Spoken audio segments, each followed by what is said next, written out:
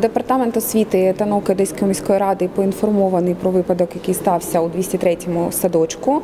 На превеликий жаль, е, помічник вихователя дозволив собі некоректне ставлення до дитини та назвав дитину, е, образивши її. Е, Мати, яка зафіксувала це, цей випадок, звернулась до завідувача, до керівника дошкільного навчального закладу. Керівник прийняв відповідне управлінське рішення, і помічник вихователя звільнений.